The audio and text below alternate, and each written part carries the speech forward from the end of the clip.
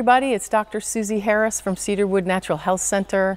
I'm here today in Highgate, Vermont with Matt Choiniere from the Choiniere Family Farm. It's an organic dairy farm and I'll let him tell you more about all the cool things that are here.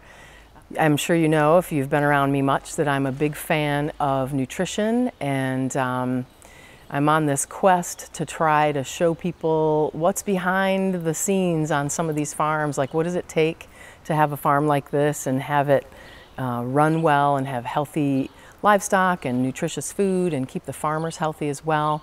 Um, another part of my inspiration is in my practice, I'm seeing more chronic health issues popping up in younger people, as well as our, you know, middle of the road and older folks are starting to have kind of layers of health issues. And um, from what I know and the research I read, 5% of illness comes from your genetics.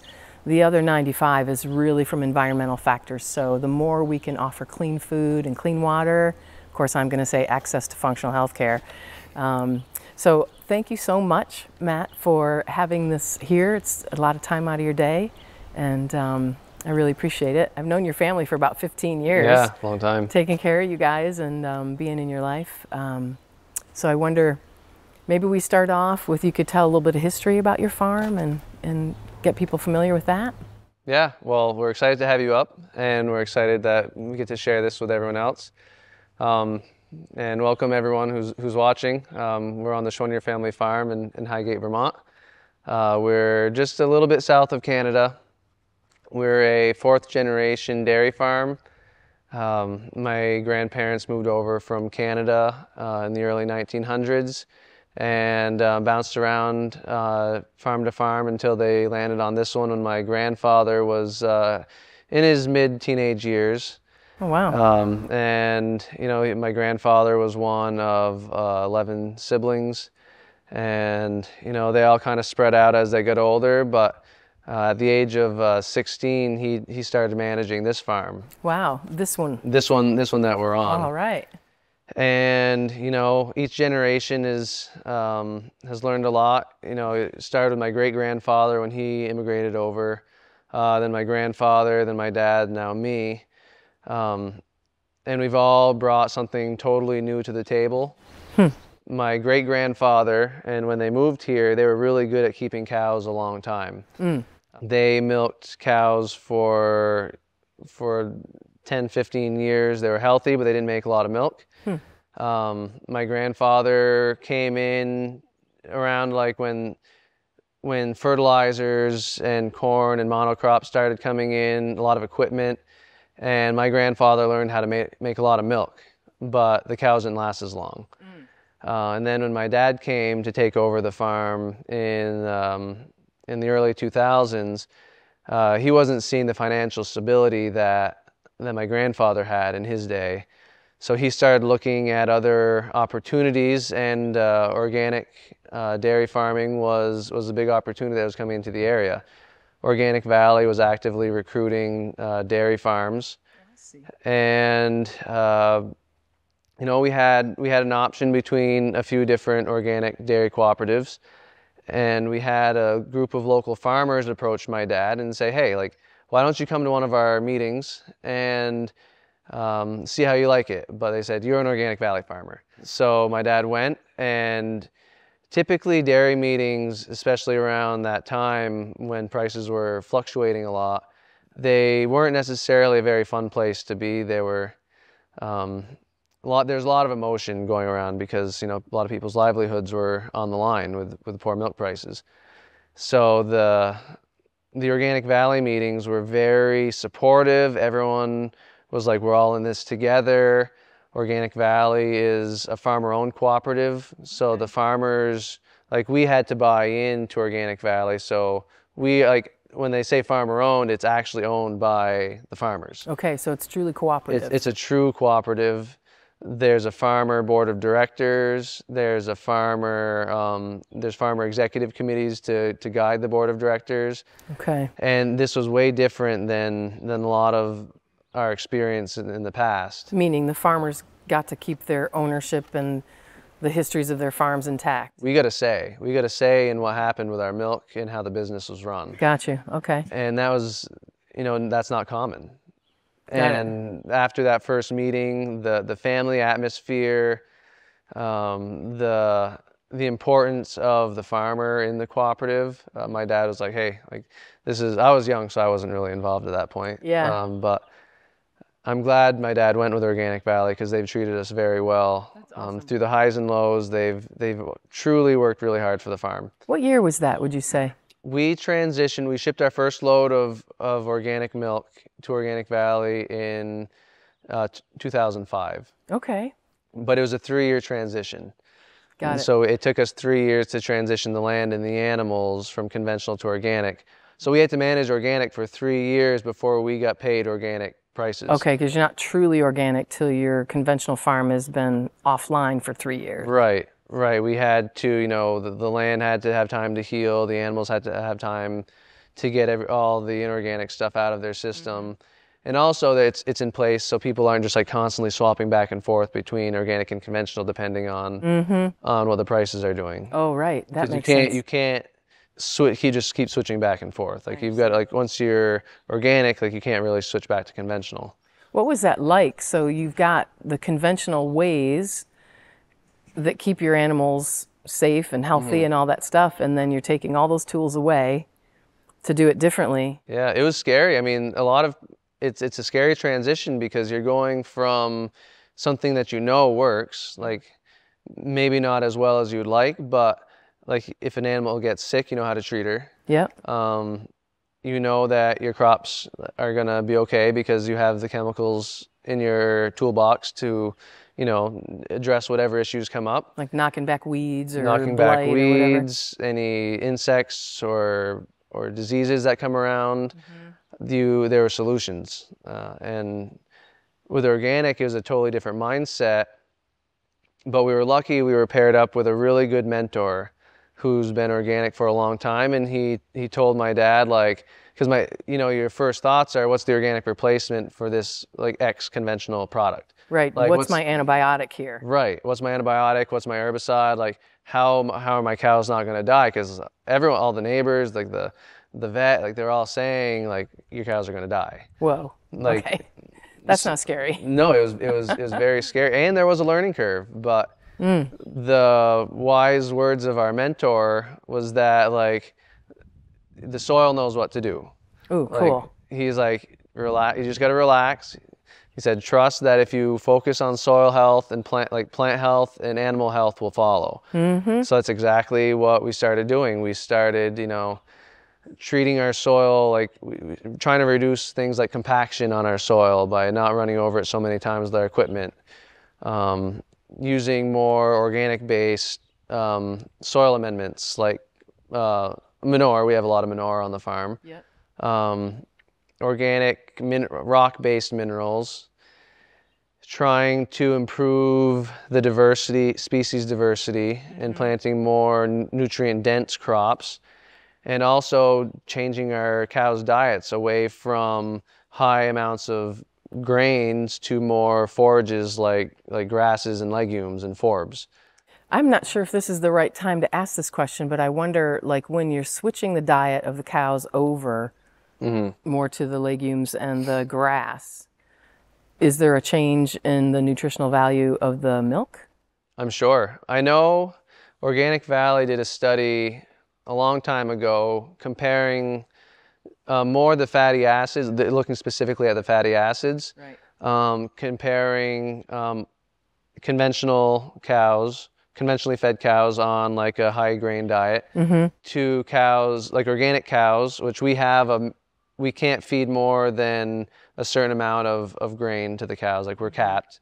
So they're they have to be forage based. Got it. And then there's the 100% grass fed cows.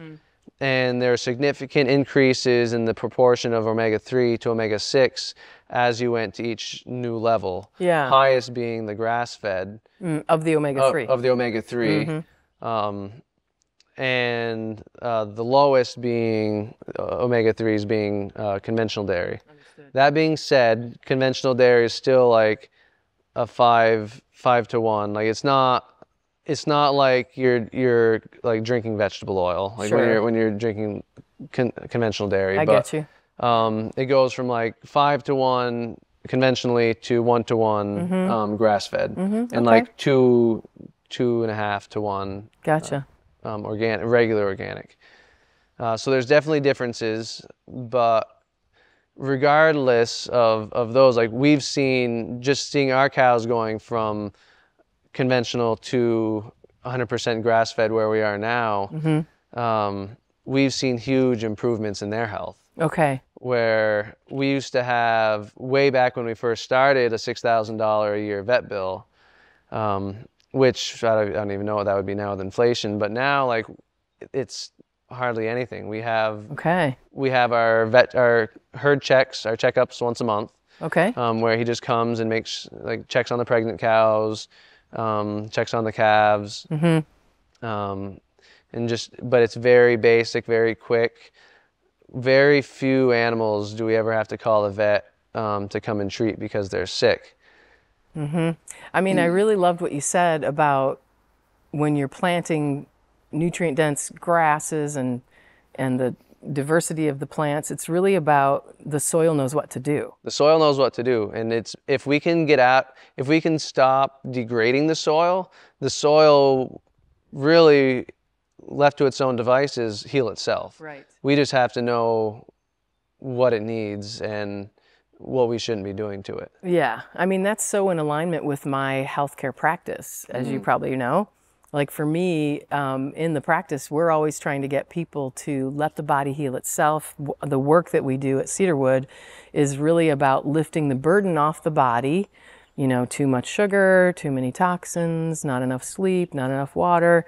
Taking those burdens off your body, the body knows how to heal yeah you're kind of saying the same thing about the soil. Take the burdens off the soil of too much compaction and uh, the other things that might create stress on the soil, and the soil just fixes itself. right Do you do other things though? Do you add things to the soil when you're? Do you like measure where the soil's at and make adjustments and stuff? yeah like we're a lot of what we do is you know by farming like we can reduce the stress as much as we can but we still are stressing the soil. It's like to harvest winter forage for the cows to eat when there's when there's no pasture we do have to go on there with equipment and, and take off grass. So like we do have to add in add nutrients back like like manure. Okay. um, but the things we try to, all the management activities we do are, we try to minimize our impact and maximize, like, maximize the benefit, I guess. I love it. So when, when we're looking at the health of a field, you know, we, we start, we start with the soil health and, you know, like, and it's very much the same with, as well, like people need, you know, we start like, first thing healthy soil needs is air, right? Okay. Like what's, if you go without air, like you're not going to live for very long, and neither will the life in the soil. Okay. So the biggest thing um, that gets air to the soil is compaction. Okay. So all of our equipment is set up. Like although they're still tractors, we try to put the biggest tires on that we can. We try to have the smallest equipment that we can while still getting the job done. Okay. Um, So look- less pushing down on the soil. less pushing down. Okay. We're lucky that we live where it freezes hard every winter, and the frost can actually break up the soil a lot Mm-hmm. just from the freezing and thawing. Um, but then we can also um, run equipment that can actually, you know, re- release some of that compaction. And they're like subsoilers. It's a special type of plow that will, you know, it makes a very minimal disturbance on the on the top, but it has like these wings underneath where as you as you pull it through, it just gently lifts on the soil, like eight inches or ten inches of soil, and that will help to move the soil enough to re- to relieve some of that compaction. Bring in some of the air. Cool. But also just keeping plant healthy plants in the soil will relieve compaction. Now is that getting into the whole no-till thing? Yeah, I mean, I mean the more tilling soil will definitely it breaks up the structures that are in place that hold soil together but also porous. Okay. So like like roots plants will secrete sugars and bacteria will secrete different glues and fungus will re- re- secrete different glues. And and what they do is they they form these like small clumps of soil that it they have space between them. And it kind of when you see healthy soil it's very crumbly. Okay. like like stable crum- like uh how, how do i say it? Um they're called soil aggregates is, is what they are okay. but you don't want to have like a solid brick of soil Yeah. and that's what happens if you if your soil doesn't have enough life in it doesn't have you know plants living on top of it you're always com- driving over it like you take a shovel and you can you'll take like a brick that'll just turn to dust Mm-hmm. Okay. once you once you crush it We're going to take a walk around your farm Oh, yeah. in a second. Well, sort of a second. Um, so you can show us some of what you're talking about. yeah You know, again, part of what had me want to come and talk with you is um, I have this fairy tale dream that we're going to keep seeing more of our farms turning to uh, this uh, health focused for the for the farmers, for the animals, for the soil. You know, everyone's talking about environment and things like that. Um, what do you have to say about environmental impact of, of of your type of farming? Yeah, well, I think um, part of being organic and I think therefore regenerative um, is a lot of what we do is is for the benefit of the environment. Okay. Our practices are are designed so that like we're not releasing toxins into the environment. We're not exposing the fam- our families and the, and the consumers to potentially harmful substances. Is runoff a thing? Like, are you able to keep runoff a little bit less of an issue for water? Yeah, yeah, definitely. Um, like I said, you know, there's a lot of benefits to keeping plants, living plants on the on the ground and keeping the ground covered. Mm-hmm. And a lot of that is, you know, water is is kind of stopped as it as it flows over the ground and it, it soaks in versus running off. I see. and and nutrients aren't a problem in in on the farm until they go into the water waterways. Okay, I see. So and and it's a it's a loss for the farmer, Do you mean nutrients that you've put in the soil? right? Or even just soil itself. Okay. A lot of runoff is heavy in toxins because they're stuck to the soil particles that are just kind of like running off. Okay. So if you have, if, let's say you you have like a this let's pick on an open cornfield. Okay. You know, there's you know there's a lot of of of open soil exposed on a, on a cornfield. You get a heavy rainstorm, and there's not a lot of plant life to slow that water down, and you get a lot of surface runoff. And that with that surface runoff, it takes a lot of soil and a lot of nutrients, and then so you're slowly losing all that topsoil you have in your field. Uh, but you're also losing a lot of nutrients. So like those are nutrients that you then have to purchase. Right, right. So okay. it's, it's not good for the farmer or or the environment when, when you have uh, runoff like that. Okay. And I did have someone tell me, I don't know how true this is, that there's a, with this style of farming, there's sequestration of CO2. Mm-hmm. Is that true? Yeah, and it's definitely something I want to talk about when we when we go out to the pasture. Okay, so you'll show us some cool things. Yeah, well, I'll show you some cool things, but I guess to to sum it up, like like plants, living plants, like that's what that they're big CO2 vacuums. Photosynthesis is taking sunlight and water and CO2 and turning it into sugars and, and water and well, I guess I forgot the exact conversion, but like yeah, it it, it turns CO2 into sugars and, and Okay. plant material. Okay. So they're they're pulling all that CO2 out of the air using just sunlight, really, and then they're building um, they're building plant material with it. They're pumping a good proportion of those sugars into the soil to feed the microbes, and also like building organic matter. It's like living plants, like actually grow soil life as well Got you. and the whole time that that whole cycle especially if you're grazing or or managing that plant material well like every time you you cut that grass or it's grazed um, it actually pumps a lot of carbon into the ground for long-term storage Got it. and so as you do that, like grass grows, it gets grazed or, or clipped, and then it sloughs off root material and that goes into building organic matter into the soil, feeding soil microbes, um, getting turned into long-term carbon storage. Yep. Okay. So I know we have a lot of farmers here in Vermont, and um, I think if I've got it correct, there's been quite a bit of policy and organizational supports put in place to help farmers that want to have access to having an organic farm. Is that? Can you tell us a little bit about that? Yeah, um, Vermont is an. If you want to farm in general, Vermont is an awesome place. And if you want to farm organically, like we have so many resources out there Awesome. uh, to support people in their transition in running their organic farm. NOFA Vermont is the organization is the Northeast Organic Farmers Association. Okay. Um, and they're, they're, they're one of our biggest organic supports out there, and they have everything from, you know, policy support where we have we have um, staff working in the state house fighting for you know policies that help organic farmers, that help uh, consumers who are looking for access to nutritious food, Yep. um, and even um, disaster relief for farmers Okay. because a lot of farms, uh, organic or conventional, have been impacted a lot by the by either flooding or droughts Sure. that have been hitting the state within the past few years.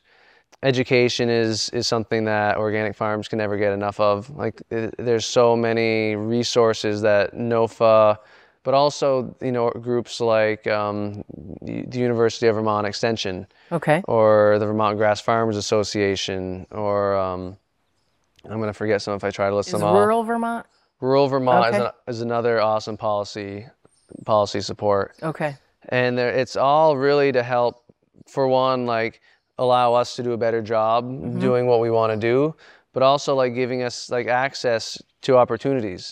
Um, I just enrolled in uh, the Farm Viability Program, which is its whole other entity, but um, it's it's a it's a program that gives access to young starting farmers or even established farmers uh, access to technical support, to grants, business um, business planning, uh, really anything that you think that could help your farm Okay. and like there's just so much so many groups and so many organizations just trying to do their best to help the farm and even even groups governmental governmental groups like the NRCS which is the Natural Resource Conservation Service Okay. um, or our local um, watershed conservation districts are you know they're out here um, planting trees on our riverbanks Wow. um, to help stop erosion and to stabilize the riverbanks Awesome. or a lot of organized uh, so much and like our even some of our um, our cattle lanes and, and rotational grazing infrastructure like our fences and our water lines and our cattle lanes um, were all cost shared by government programs to help us you know with a startup cost to, to get going Cool. So yeah we're very lucky like vermont is an awesome place for small farms especially Okay. just to you know and even the culture the, cul- the culture in vermont is very supportive towards small farms I've heard you a couple times when you've come in talking about the energy of the young farmers coming in, and there's a lot of excitement on some of the new developments and the level of support that you're talking about. Mm-hmm. What about the community? Is there anything that the community can be doing to support uh, farmers in this way? Because everyone's really kind of getting into nutrient dense foods and Yeah. trying to go organic. Um, so to keep you being able to provide that for folks in the community. I I would say if the community wants to help you know get out onto your local local farm your your local veggie farm your local beef farm dairy farm um, find a farmer that you trust and that you like how they manage and then and then buy their stuff Yeah. Okay. like farm there's nothing more rewarding for a farmer for one to be able to talk about you know why they do things than have someone be like i love that like i want to buy your food Awesome. and yeah. i think that's for one that's like huge moral support Mm-hmm. um, but it's also like the, it's what keeps us going like we need we need people we, we produce food we need people to buy our food Got it. From the farm or from Organic the farm Valley. or any, anyone i mean yeah like we specifically sell milk to organic valley Mm-hmm. so yeah, like going out and buying some organic Valley butter or, or your gallon of organic Valley milk. Or I mean, it could be you know stopping in at your neighbor who who sells beef on the side, Yeah. and you know there's there's so much. Once you know where to look, like there's so many farms around selling to their community. Yeah. You just need to know where to look. And granted, it's a little, it's not as convenient as, as getting all your groceries at like the nearest supermarket. Um, but it'll definitely make a bigger difference in, in the landscape of, of Vermont. Awesome. I love that. Well, thank you so much. I think we should have some fun. Uh, take off and go let you show us a little bit around the farm, how you move cows from a, a grass that's been all eaten down and you want to move them and whatever else you want to show us. Cool. All right, cool. All right.